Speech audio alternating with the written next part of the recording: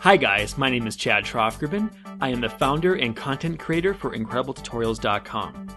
I have teamed up with Smith Micro to bring you these brand new Anime Studio 9 tutorials. So let's get started. Anime Studio Pro allows you to adjust the project settings for every project you work on. This includes the dimensions for the document, the frame rate, background color, there are even layer rendering settings and 3D settings only available in the Pro version of Anime Studio. So let's check them out. First, go to File, Project Settings, or you can use Control Shift P if you're on Windows, Command Shift P if you're on a Mac. Now a window will appear giving you all sorts of different options. First, let's direct our attention to the Dimensions panel. Here we can adjust the size of our canvas, and this is useful because you can match your dimensions to whichever venue you plan to export your video for.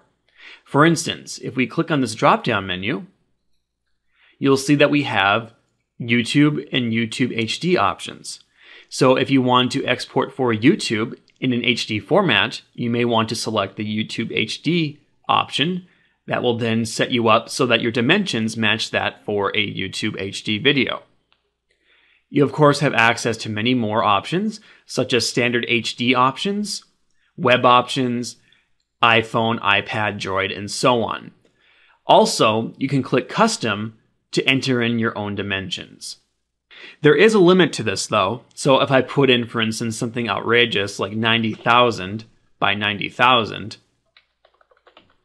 and click OK, you'll see that the program snaps your dimensions back to a safe area. The maximum you can go as far as your dimensions are concerned for the width and height. You may have noticed when I adjusted the width a moment ago, the height adjusted along with it, and that is because I have constraint proportions currently checked. Basically, Anime Studio will try to keep your dimensions in proportion when this option is checked. So for instance, if I highlight height here and I type in 6000, and come up here to width, you can see that the width changes according to what I put in for height. Again, to keep things in proportion. Now, if you don't want this to occur, you simply deselect constraint proportions, and then you can enter in a value of your choice, and you can see now that it remains independent of each other so that you can adjust each value according to however you want to adjust them. So that's just something to keep in mind when you are working on your projects in Anime Studio. Next, you can adjust the frame rate. Basically, the frame rate dictates how smooth your video will look. So if you have 24 frames per second, that means you have to animate 24 frames per second of footage. If you bump that up to, let's say, 60, that means then you have 60 frames per second of footage. So again, it will create a much more smoother looking video. Anime Studio usually defaults to 24 frames per second. You can choose the default start and end frame for your project.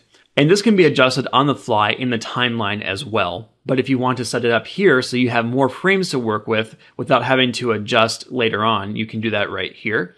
And your end frame can end wherever you want it to. There is no limit to how many frames you can have per project file in Anime Studio Pro. Coming over here to the background color, you can choose a default background color for your project. As you can see right now, we have an off white color for the default, but you can choose any color you wish. You go down to red, click OK, and now of course you'll have a preview of what your background color will look like, and that will be applied once you click OK.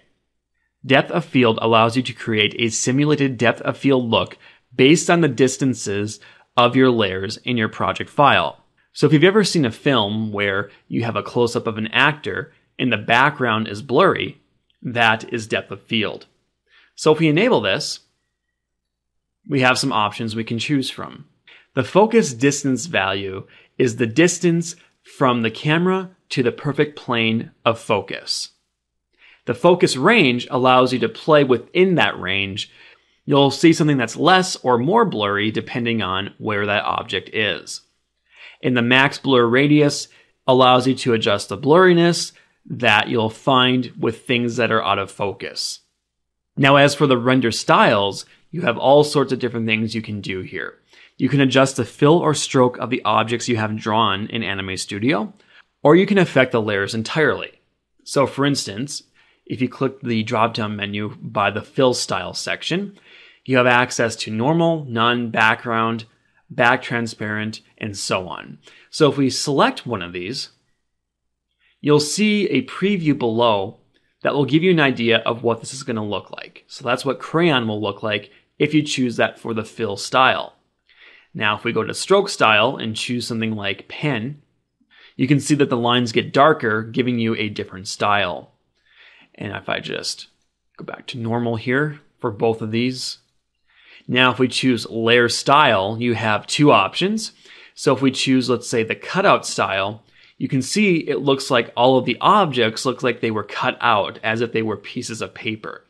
So you have some options there to play with that can give you some different looks to your cartoon if you wish. And when using these styles, you'll want to consider the minimize frame to frame randomness. Basically, if you have this unchecked, you'll get a flicker effect with these effects. The line types, the fill types may change slightly frame to frame depending on the style you have chosen. If you check this, Anime Studio will minimize that effect, making things look a lot more smooth or solid. It really depends on your frame rate and what type of style you are shooting for. Moving on now to sort layers by depth. If you check this, your layers will be sorted by how they appear on the Z axis that you assign with the Move Layer tool. So instead of arranging your layers on the layer panel, they will be assigned based on the distance from the camera. Sort by true distance goes by the layer's origin as opposed to the distance from the camera. And noise grain allows you to create some noise for your animation, meaning it gets a grainy looking effect. This is a popular technique used in film, and it can make things look a little bit more realistic, but depending on how you compress your video, things might look a little bit muddy. So you may want to apply just a slight grain and see how it works, and then decide from there if you want to apply that effect to your project. Stereo rendering allows you to create a 3D effect. The red blue setting will create red and blue images for your animation so that you'll need special 3D glasses to view the 3D effect. Side by side is used in YouTube quite a bit, and it creates two images of your animation side by side to give off the 3D effect. Cross-side is the same as side by side, except the left and right sides are flipped. And if you choose to do any of those, you can adjust the eye separation. In other words, you can adjust how far apart the images appear using the 3D effect. Extra SWF frame gives you an extra frame of blank animation at the end of your video. And finally, if you like everything that you've done here and you want to use these settings in future project files, you can click the Save as Defaults button.